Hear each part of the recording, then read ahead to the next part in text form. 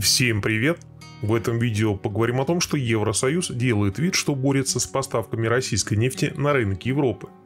Европейские политики выразили свою озабоченность увеличением серых схем по поставке российской нефти на европейские нефтеперерабатывающие заводы. Еврокомиссия заявила о стремлении бороться с серыми поставками нефти из России.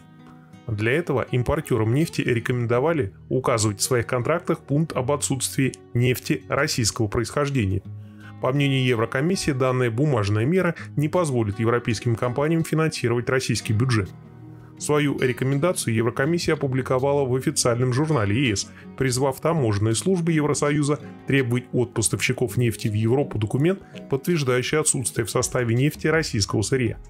Тем не менее, западные эксперты сомневаются в эффективности борьбы с присутствием российской нефти на нефтяном рынке Европы – они отмечают, что значительная часть европейских НПЗ исторически приспособлена к получению тяжелых сортов российской нефти. Использование других сортов нефти на многих НПЗ попросту невозможно. Естественно, понимают это и европейские чиновники, поэтому и оформили новые ограничения не как обязывающий всех к строгому соблюдению нормативный документ, а лишь в качестве рекомендации.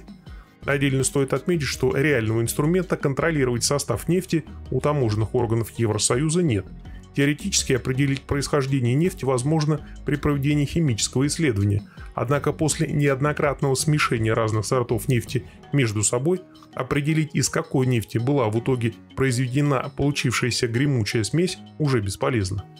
Отмечу, что сейчас в указанной рекомендации вообще нет никакой необходимости, поскольку запрет на импорт российской нефти не вступил в силу. Евросоюз пообещал отказаться от российской сырой нефти лишь с декабря этого года, а от российских нефтепродуктов с февраля следующего.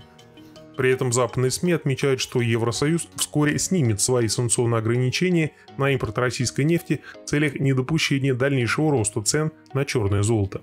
Тем временем российские нефтяные компании активно перенаправляют поставки нефти с европейского в азиатские нефтеналивные терминалы – Прогнозируется, что по итогам этого года, независимо от действий европейских чиновников, Россия прекратит поставку нефти в Европу на 50% в сравнении с 2021 годом.